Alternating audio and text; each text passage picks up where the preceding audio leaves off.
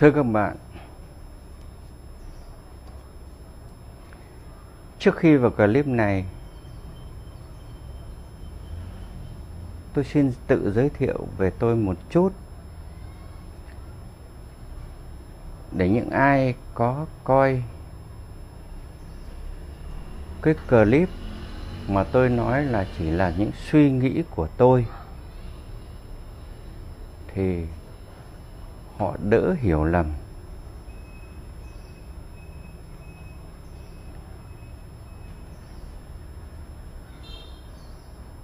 Tôi là một người miền bắc. Năm nay tôi 74 tuổi, tức là tôi sinh năm 1948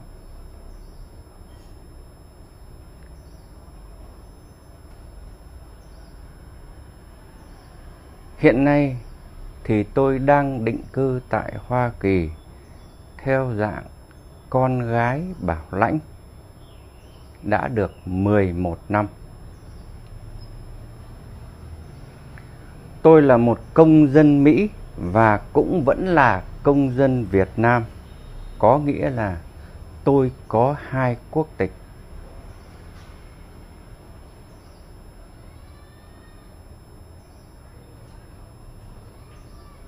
Tôi là một người hai nửa. Xin nhắc lại, tôi là người hai nửa.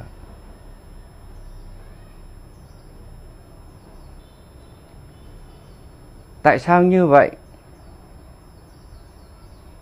Gia đình tôi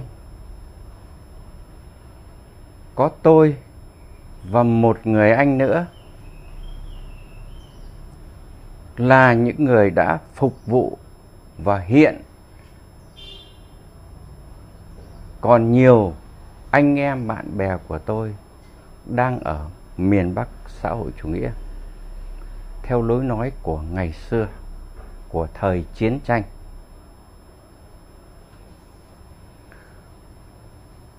Xin nhắc lại là tôi và một người anh tôi nữa là người thuộc chế độ miền Bắc xã hội chủ nghĩa, có đóng góp cả xương máu và công sức.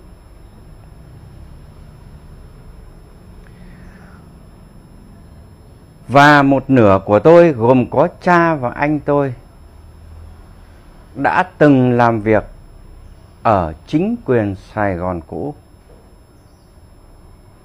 Công trạng cũng không ít. Thí dụ người anh trai của tôi đã từng được gặp Tổng thống Nguyễn Văn Thiệu.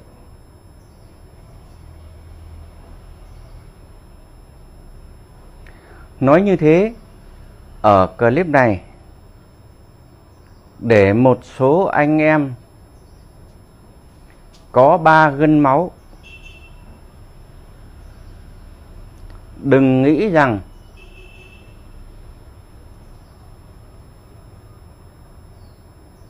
tôi chỉ là những người nón cối là những người khoác súng AK mà không biết súng AR-15 AO-15 của tụi Mỹ.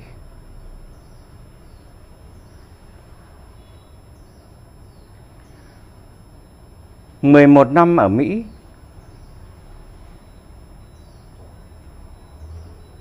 với kiến thức hẹp hòi của tôi, thì tôi xin nêu ra, nói ra vài hiện tượng, vài việc như sau. Nhân dịp 30 tháng 4 tới,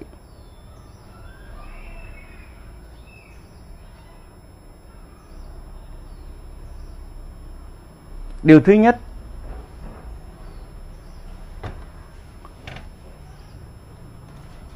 tôi xin nói về mảnh vải vàng ba gân máu.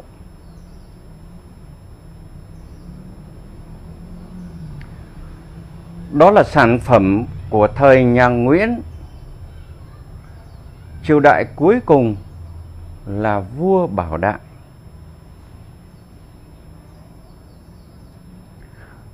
trong tất cả các kênh truyền thông của người Việt ở Mỹ từ kênh của ông Mai Tuấn. Kênh của ông có ông Hoàng Trọng Thụy.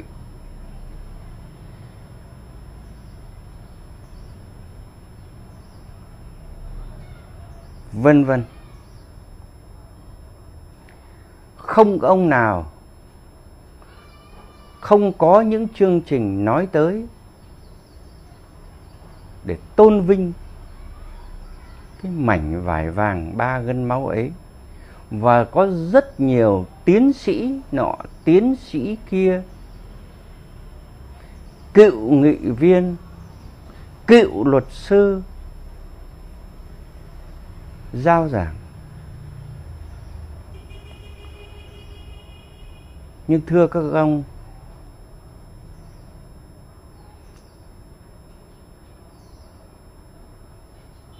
hai võ sĩ đánh nhau trên võ đài. Dĩ nhiên, có người thắng và người thua. Người thua có cái nhân cách đặc biệt của người thua mà mọi người đều thán phục nhân cách ấy, tức là họ công nhận thua và chúc mừng người khác đã thắng mình. Nhưng các ông thì không thua thua một cách thảm hại, thì các ông đổ vấy cho Mỹ là bỏ đồng minh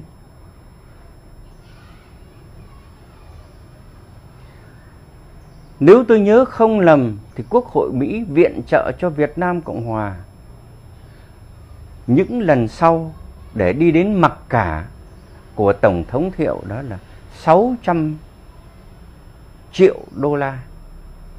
Lúc ấy Tổng thống của Việt Nam Cộng Hòa, Tổng thống của cái mảnh vải vàng ba gân máu mặc cả rằng là nếu một triệu hay một triệu hai thì giữ đến A 600 triệu thì chỉ giữ đến B.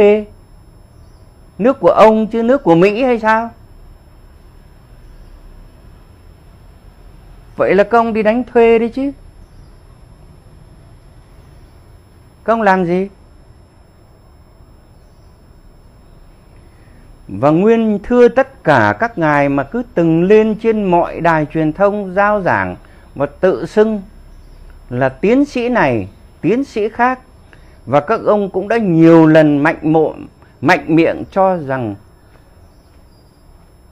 lính miền Bắc chúng tôi và những người miền Bắc chúng tôi ít học hơn các ông.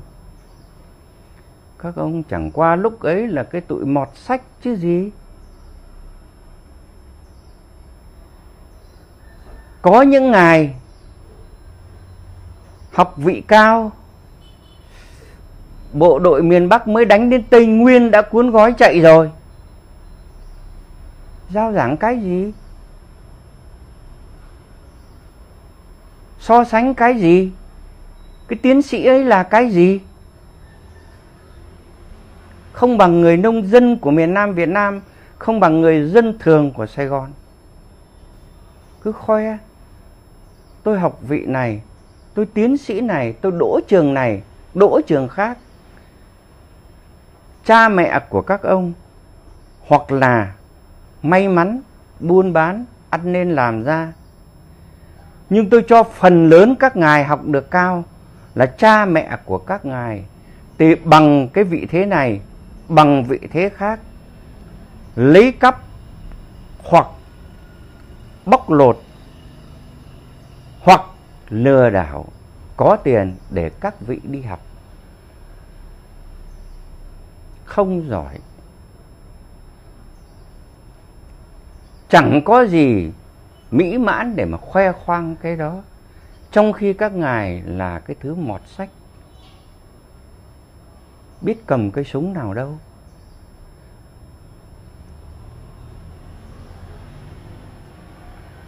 Sở dĩ tôi lan man một tí về cái học vị của các vị là vì khi ở mỹ, tôi nghe rất nhiều đài, rất nhiều chương trình TV của các ngài các ngài khoe khoang. Các ngài là học vị nọ, các ngài là học vị kia, và các ngài chê bai. Người dân trong nước học ít bị lừa đảo, bị cộng sản bịt mắt bị cộng sản, bóp méo sự thật mà không biết. Thế thì điều này các vị chẳng là nhớ. Các cụ ta đã nói là, xưa xa lắm rồi quê ta, ông cụ, ông kỵ, ông tổ của chắc quê ta đã từng dạy các ông là quá tam ba bận. Cái tấm vải vàng ba gân máu của các ngài sụp đổ lần thứ nhất dưới triều vua Bảo Đại. Rồi, tôi xin tôn trọng thể chế chính trị của các ông và nguyên thủ của các ông.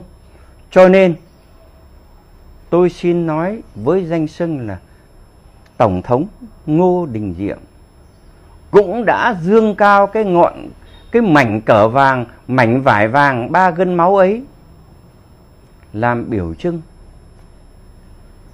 Và chính các ông ăn thịt lẫn nhau. Còn ai giật dây thì với học vị lớn như thế của các ngài các ngài thừa biết. Đó là sụp đổ lần thứ hai. Một cái sụp đổ hoàn toàn. Đó là Tổng thống Nguyễn Văn Thiệu và chính quyền Sài Gòn năm 1975. Sau khi ông Thiệu rời chức vụ, thì bao nhiêu ngài tai to mặt lớn, tài ba đâu? Không đứng lên mà cứu lấy cái chế độ miền Nam Việt Nam, mà lại cuốn gói chạy hết, đẩy hết từ cụ Hương đến ông Nguyễn Khánh, đến ông nọ ông kia để rồi mỗi ông mấy ngày nếm chức vụ cho oai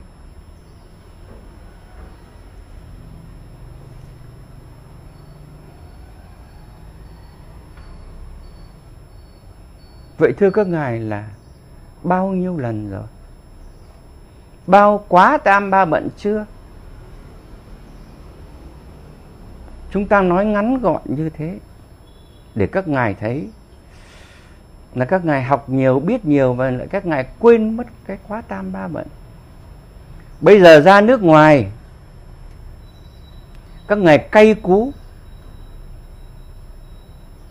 và không có cái tinh thần hiệp sĩ chứ cứ đổ cho là các ngoài giỏi bất kỳ ông nào bất cứ ông nào trên truyền hình truyền thanh đều thấy giỏi chẳng thấy ông nào kém cả mà bộ đội bắc việt mới đến tây nguyên, các ngài đã chạy rồi. Thế thì các ngài các ngài giỏi cách gì thì xin thưa các ngài tự suy ra.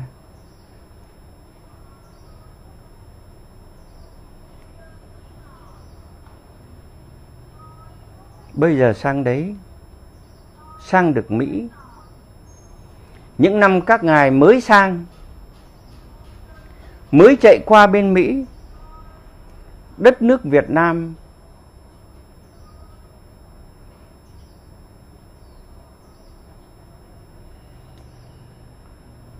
sau một cuộc chiến dài, dân miền Bắc trong đó có tôi.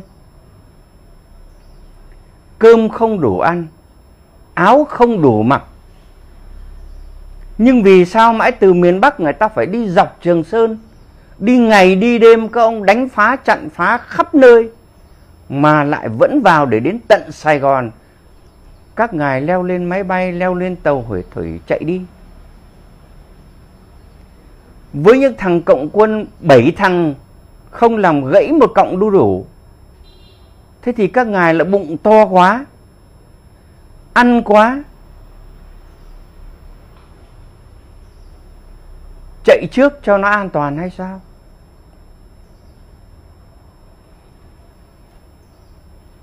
Con cờ của nước Việt Nam hiện nay là lá cờ đỏ sao vàng. Các ngài cứ gọi là lá cờ máu.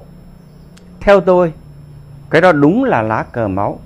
Nhà nước này, trong quốc ca của nhà nước, cũng có thể hiện rằng mỗi một người dân, mỗi một người lính đổ máu xuống thì cái máu ấy nhuộm thêm cho lá cờ đỏ, thêm thắm.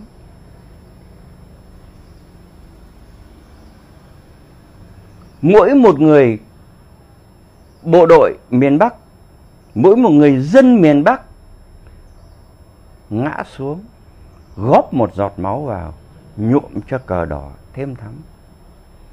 Vậy máu của những người lính Việt Nam Cộng Hòa, các ông nói là cờ không phải là cờ máu thì máu của họ đổ đi đâu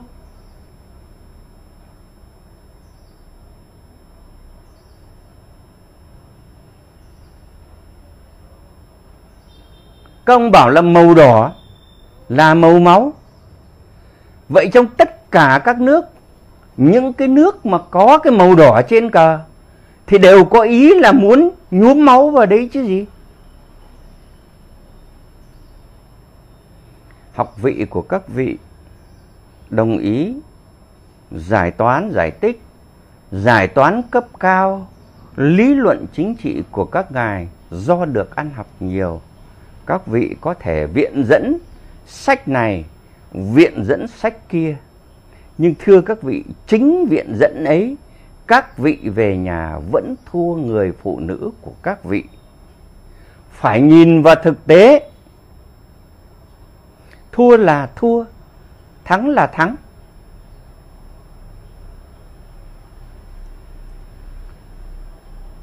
Thua quá, bẽ mặt. Lúc đầu thì nói còn yếu ớt. Sau này thì cứ người này nói một tí, người kia nói một tí. Thì cứ tưởng là thật cờ của mình là chính nghĩa lắm. Cái mảnh vải vàng ba sọc, ba gân máu, đại diện cho ai bây giờ nữa? Mà cứ cố bám. Mấy bà phụ nữ sồn sồn. Trước kia nếu may mắn, chồng con có chức vị cao dựa vào đó để buôn lậu. Dựa của đó vào đó để ăn. Sự đút lót từ lính tráng bên dưới lên. Đến khi miền Nam Việt Nam sụp đổ, thì các mẹ mất cái màu mè ấy. Chứ các mẹ biết chiến trường ở đâu. Nếu có theo chồng đi, thì để quần là áo lượt. Thậm chí mà chồng đi chiến trường ở nhà ngủ với lính cận vệ. Chứ giỏi giang gì?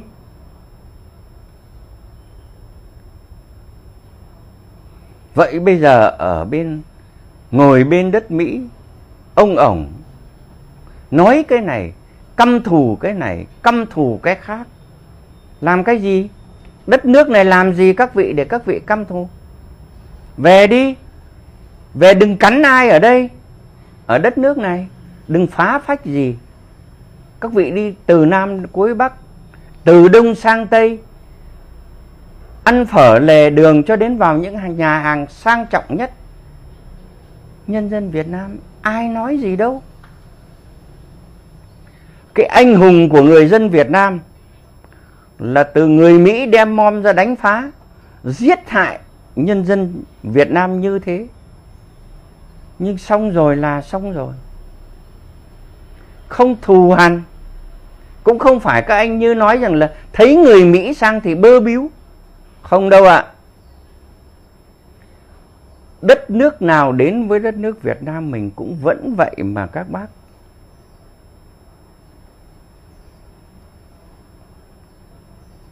Các bác chứng minh cho em biết là người dân của nước khác nào đến đây mà dân Việt Nam chúng tôi khinh thị,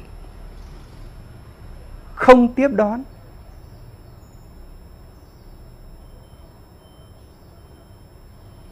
Không có cái đó. Người dân Việt Nam trên các vị một bậc là ở chỗ ấy.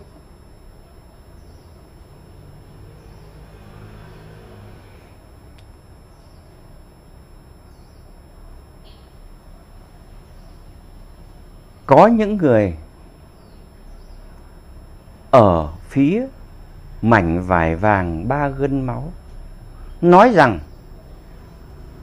miền Bắc xâm lấn miền Nam, các anh là một quốc gia riêng. Nhưng người miền Bắc không phải xâm lấn những người thành lập quốc gia riêng là những đứa con hư trong một gia đình.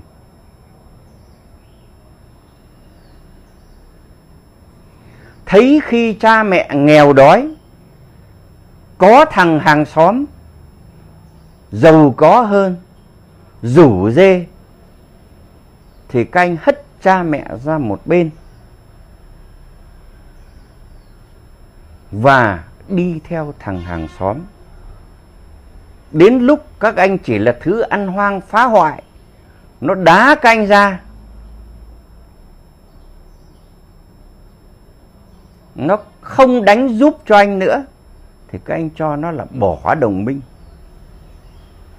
Tại sao tôi nói các anh là những đứa con hư?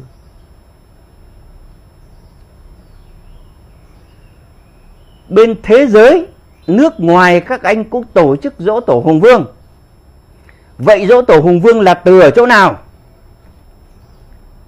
Vua hùng xuất phát từ đâu?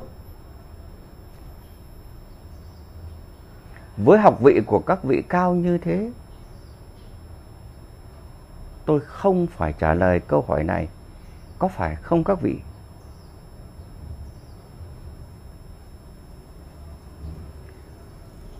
Thờ ông Trần Hưng Đạo ngay ở California hiện nay, các ngài dựng tượng Đức Thánh Trần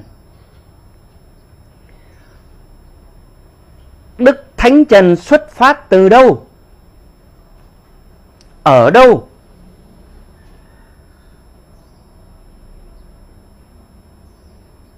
Chắc cũng không phải thưa lại để các ngài biết.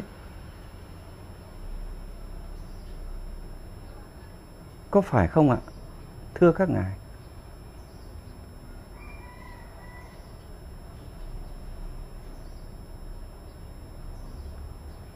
Các ngài chắc học cao hiểu rộng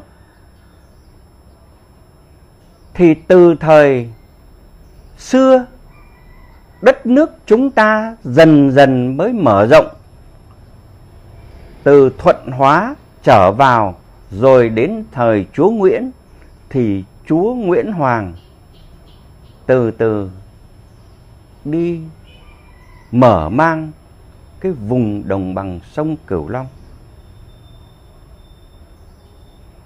Vậy vốn những chúa Nguyễn Hoàng, những cái người đi mở đất, lấn đất vào phương Nam, vốn là người của miền Nam mà. Đó là con em của vua Hùng, con em của Đức Thánh Trần Hưng Đạo.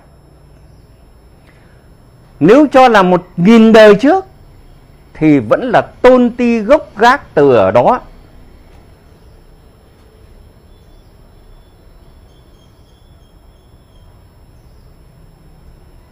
Năm năm tư các ngài lấy từ miền từ sông Bến Hải trở vào rồi các ngài bảo là đất của các ngài riêng, đất nước của các ngài riêng.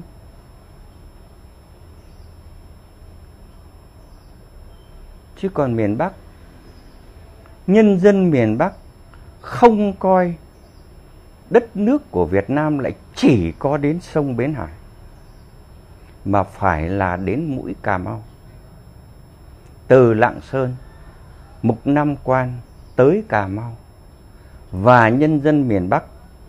Những người miền Bắc cần phải thu hồi về.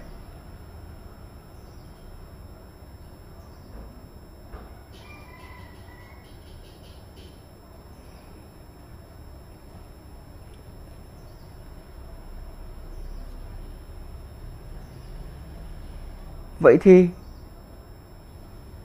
các ngài tại sao lại cho là chúng tôi, người miền Bắc chiếm Sài Gòn. Không gọi là ngày thống nhất. Non sông. Mà lại cho là cưỡng chiếm mất miền Nam Việt Nam. Thế nào là cưỡng chiếm? Nói ra hơi xấu hổ. Các bác ạ hiện nay các bác, lúc ấy các bác cũng giống như Ukraine hiện nay. Miền Bắc Việt Nam đánh hết với lệ Mỹ. Miền Nam Việt Nam và toàn bộ cái khối NATO của các bác đấy. Các bác kiểm lại đi. Quân đội nước nào? Những cái nước loanh quanh ở đây là các bác dồn vào đấy hết đấy.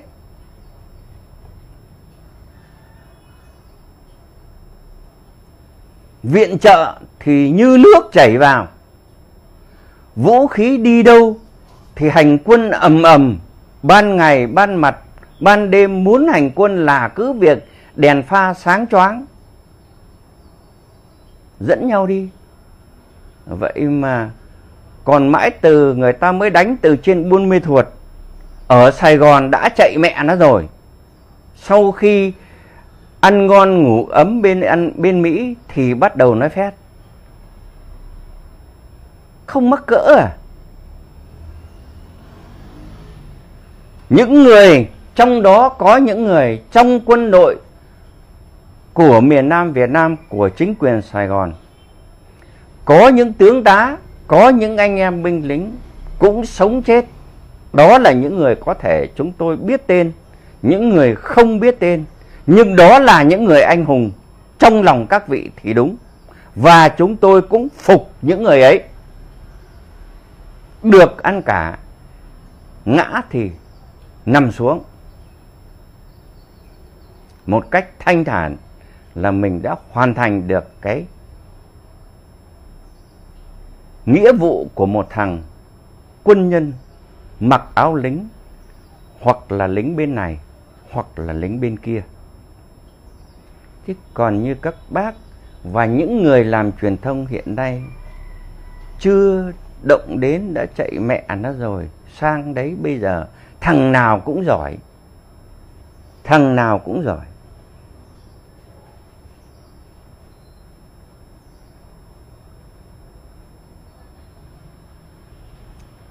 Sau 75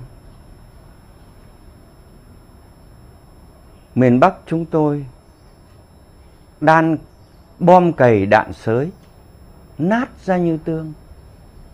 Các ông bây giờ bảo là Nga đánh Ukraine, đem bom bắn phá. Trong các bác hoặc những người trẻ sau này đi, có ai biết, có ai nhớ B52 đánh khu phố Khâm Thiên của Hà Nội và toàn thành phố Hà Nội như thế nào không?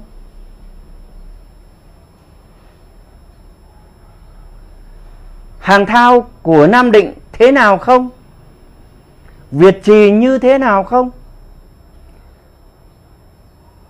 Hải Phòng như thế nào?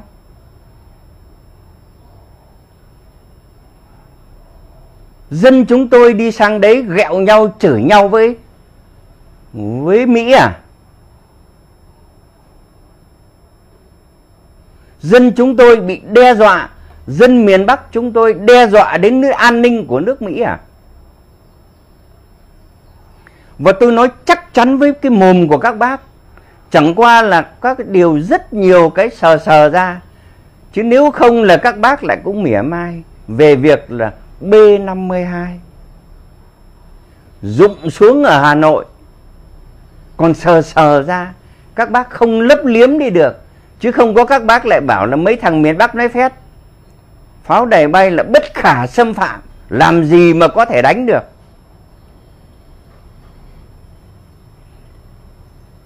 Chúng tôi là vậy.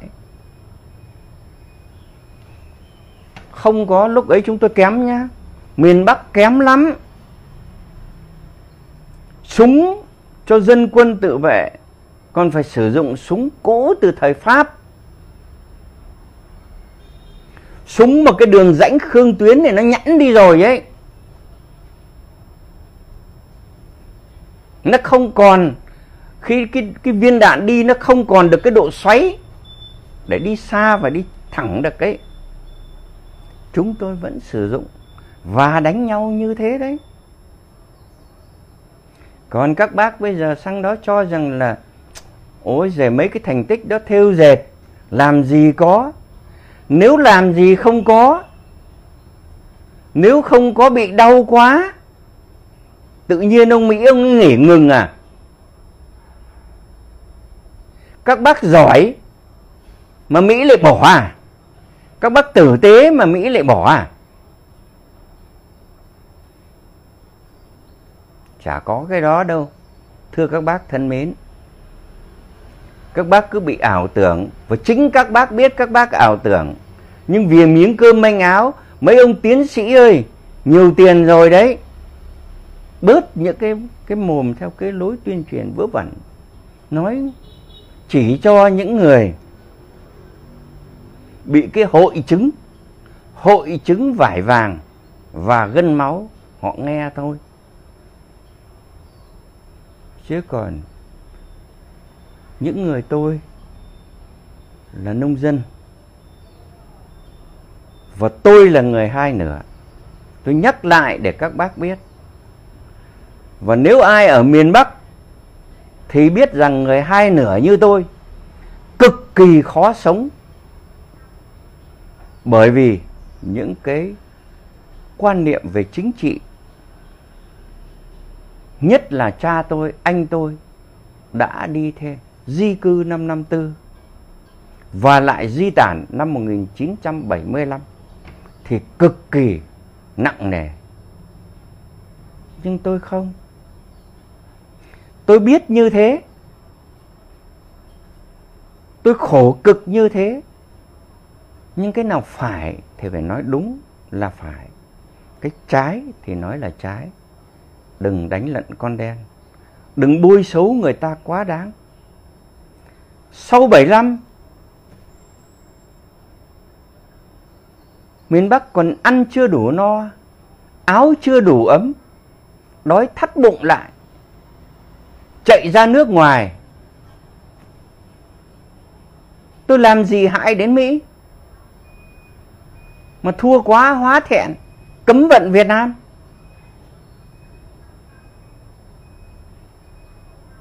Thua chạy ra ngoài thì yên mẹ nó mồm đi, suối cơ quan này suối cơ quan khác nhân quyền nhân quyết để hãm hại Việt Nam.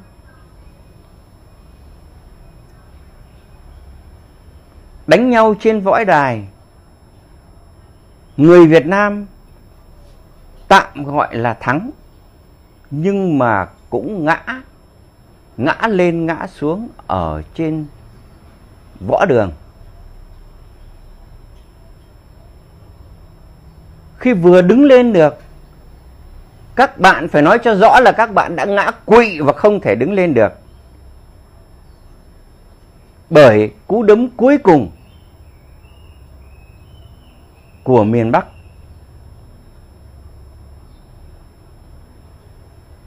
còn dân chúng tôi cũng chẳng khỏe mạnh gì. Cũng mệt mỏi, đang liêu siêu đứng lên, thì tổ chức bên ngoài các, gọi là, trông về Việt Nam, bày đàn với nhau, cắn xé vào những cái bắp chân vừa đầy máu đầy me trong cuộc chiến tranh.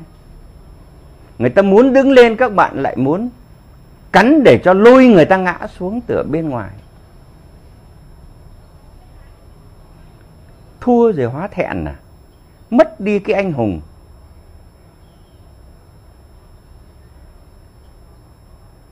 Những cái người ấy cũng như trong các cái vị, trong các cái vị tiến sĩ hiện nay, tiến sĩ rồi đại biểu quốc, rồi nghị viên nọ à, nghị viên kia, tỉnh trưởng toàn xưng với nhau bây giờ. Ông đại tá nọ, ông tướng nọ, ông tướng kia. Thua thì thua. Đó, thua nhận thua là một anh hùng không nói rõ ràng. Nhưng hai ông đứng đầu của các ngài là ông Nguyễn Văn Thiệu và ông Nguyễn Cao Kỳ đã nói ra cái ý đó, đã nói ra cái ý là nhận là thua.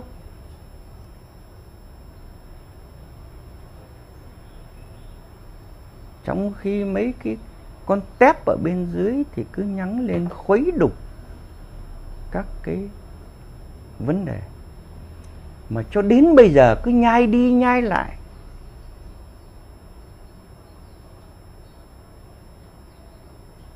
Mới đây,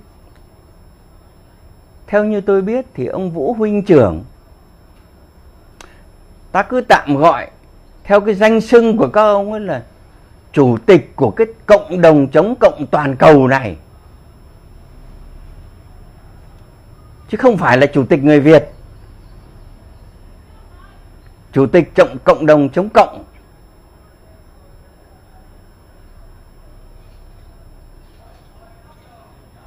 Cũng đã về với tổ tiên ông bà tôi nghĩ cái ông vũ huynh trưởng ấy, ông cũng thừa biết là ông ấy nói vậy thì nói chứ. Tôi nói 10 đời nữa của ông vũ huynh trưởng cũng chẳng làm gì được cái nước việt nam hiện nay.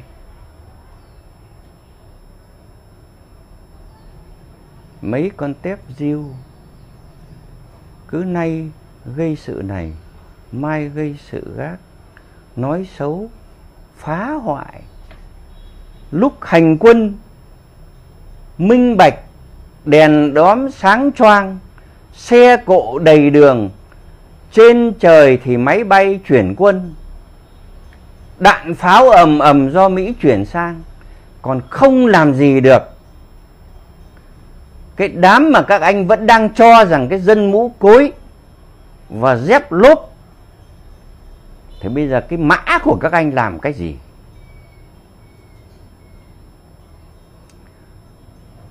Tóm lại là chỉ mấy thằng trong cái cuộc hô hào ấy, nó ăn no tiền của những đứa ngu xuẩn. Tưởng là về mà cướp lại được Việt Nam để mà lại lên ông nọ bà kia. Chúng nó sẽ cho các ông các bà thành ông nọ bà kia theo cái chuyện của trạng quỳnh đấy, thưa các ngài.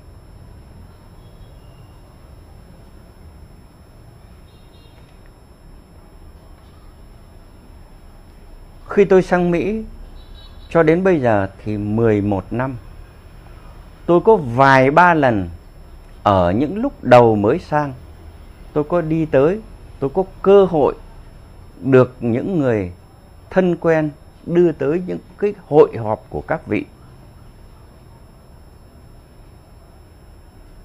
Sau đó tôi xin phép tôi không đi tới nữa, bởi vì bất kỳ ai trong số các vị ở đấy toàn là những người giỏi. Vì vậy khi tiếp xúc với những người giỏi quá, tôi không muốn tới nữa.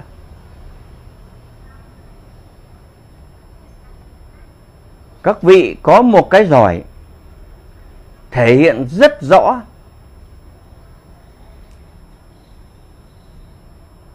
Là chó cậy nhà, gà cậy vườn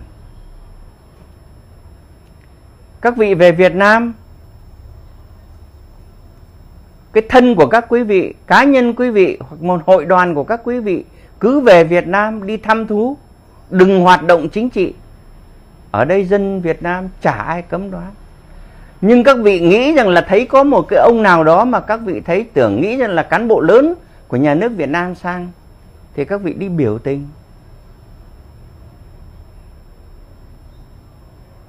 Rồi đài nọ. Phản đối, đài kia phản đối. Phản đối rồi cũng vẫn thế. Các vị nghĩ lại, từ sau 75 đến giờ, cái xạ, cái hương nằm trong cái hai cái chữ Việt Nam, nước Việt Nam bây giờ, và nằm trong cái lá cờ đỏ sao vàng. Nó càng ngày càng thơm lên hay càng ngày càng mất thơm đi. Như thế để các vị tự suy ra, các vị tự biết mà. Mà biết chắc các vị là tự biết. Nhưng vì xấu hổ và vì nói rồi, thậm chí có những youtuber nói là để kiếm tiền. Cho nên là biết thừa cái việc là nói tầm bậy tầm bạ, nhưng lại cứ nói. Chứ không phải những người đó không biết đâu. Họ biết chẳng hạn như đỗ dũng, như Derek phạm. Derek phạm. Derek phạm là cái thằng, ông ấy cũng là người miền bắc. Giọng ấy là giọng của người miền bắc. Ông ấy chê là con ông nọ, khi được bổ nhiệm lên thì không nói là con ông nào. Chẳng hạn ông Nguyễn Văn A thì đẻ ra như ông Nguyễn Văn B, Nguyễn Văn C khi bổ nhiệm lên thì nhà nước này giấu đút không minh bạch nói không nói ông Nguyễn Văn C, ông Nguyễn Văn B kia là con của cái ông Nguyễn Văn A. Việc gì phải nói? Người ta 18 tuổi là người ta đủ quyền công dân. Người ta tự chịu trách nhiệm với hành vi của mình. Tôi thí dụ ông Đỗ Văn A đang làm truyền thông xa xả ấy. Con ông Đỗ Văn A đi ăn cắp. Lại phải nói là cái thằng đó là thằng con của cái ông kia đi ăn cắp đấy à?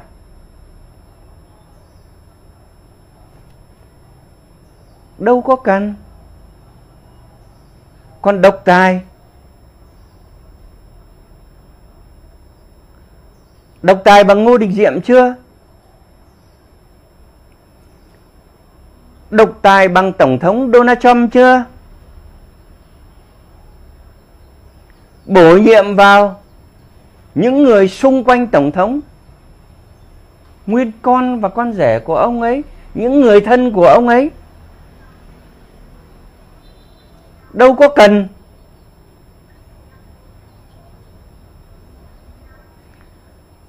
Theo tôi 30 tháng 4 tới. Dung dài vài chuyện này là để nói về mảnh vải vàng ba gân máu. Thối lắm rồi. Chưa nói là thảm hại lắm các bác năm 75 sao các bác không ôm cái lá cờ vàng ấy đi? Ôm quấn vào người ấy mà chiến đấu đến cùng.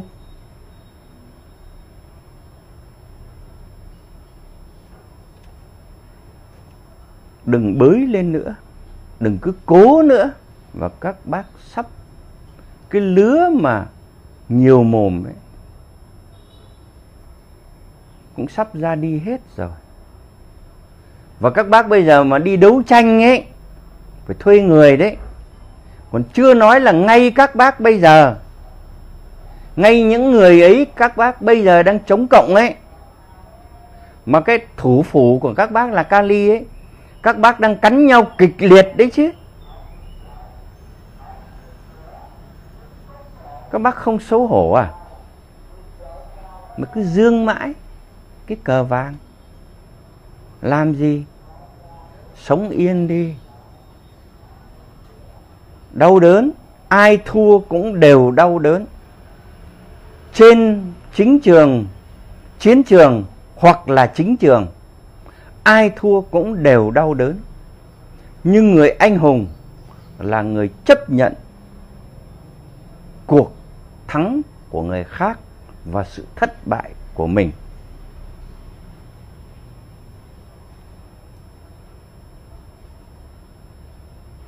Đó là suy nghĩ của tôi ngày hôm nay. Xin nhắc lại, suy nghĩ của tôi là suy nghĩ của người hai nửa.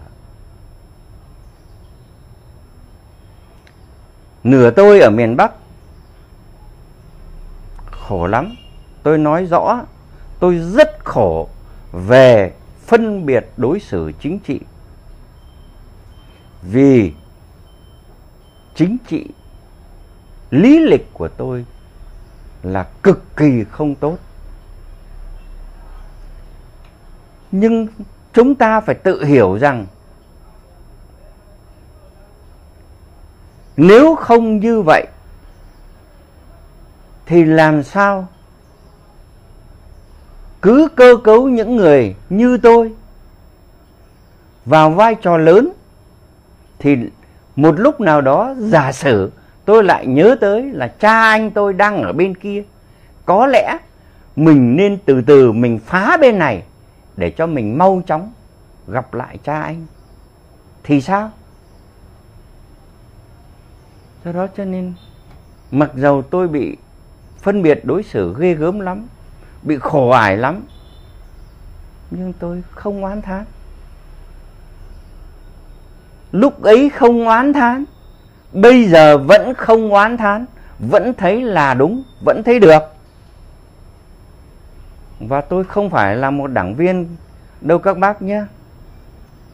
Hiện tại tôi lại là công dân mỹ nữa đấy. Không phải về đây nhà nước việt nam cho tôi đồng bạc nào để mà tôi nói hay đâu, không đâu. Tôi chả là cái cấp gì chả là cái thứ gì cả. Nhân ngày 30 tháng 4 tới, vài điều rông dài.